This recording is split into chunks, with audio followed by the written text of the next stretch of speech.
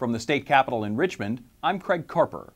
Over 100 Virginians with disabilities and their families came to Capitol Square on Tuesday to ask lawmakers to end the wait for community based services. Over 11,000 Virginians receive in home treatment for their developmental disabilities, but another 11,000 are waiting on Medicaid waivers to get the same community based services. 3,000 people on that list are deemed Priority 1.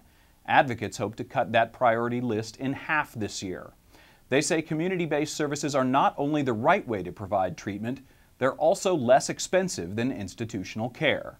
It helps people live a life like yours in the community, a life, a home, a job, a life just like anybody else, whether it's just going out to see a movie or having some friends and over in the neighborhood, uh, that we all get the chance to live a life like yours in the community. A dozen lawmakers from both parties came to the rally to speak in support of additional Medicaid waivers.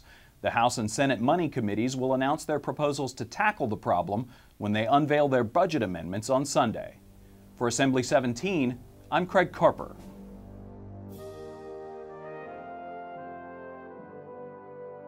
Broadcast of Assembly 17 is brought to you by the Virginia Education Association. An investment in Virginia teachers today will pay dividends tomorrow.